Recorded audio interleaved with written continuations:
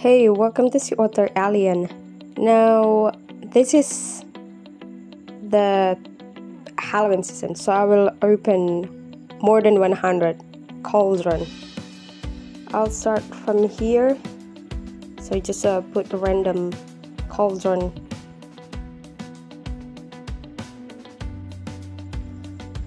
So I skipped the part.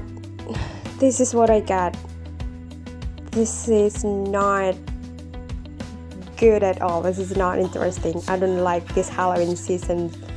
I hate it. I do not get weapon anything that interested. The only nice thing that I got from er, from the cauldron just the event trophy. That's it. I got three of that.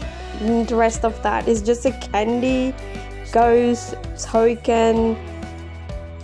So thank you for watching. I hope that I will uh, get another cauldron and get a weapon. I wish. Bye.